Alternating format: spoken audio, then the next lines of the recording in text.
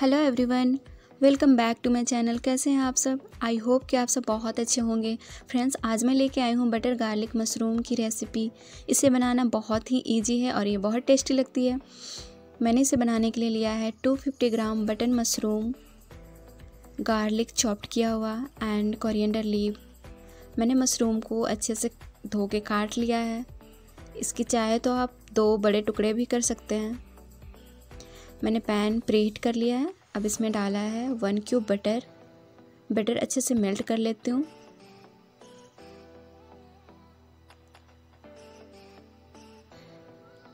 Butter भी melt हो चुकी है। अब मैंने डाला है इसमें चॉप्ड गार्लिक।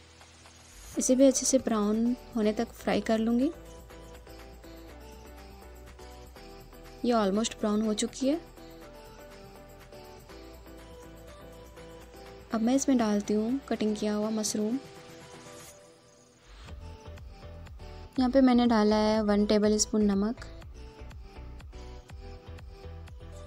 अब इसे मैं अच्छे से चला लेती हूँ। मशरूम में वाटर कंटेंट बहुत ज़्यादा होते हैं। अब मैं इसे कवर करके रख दूँगी अप्रोक्स थ्री मिनट्स के लिए। इन मीडियम फ्लेम फ्रेंड्स, आपको तो पता ही होगा, ये इसके हेल्थ बेनिफिट बहुत हैं।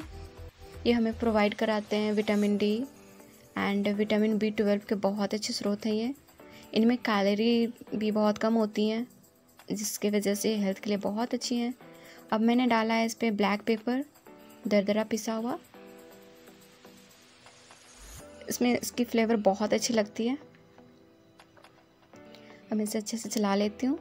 और कुछ देर के लिए भी कवर करके रख देते हैं।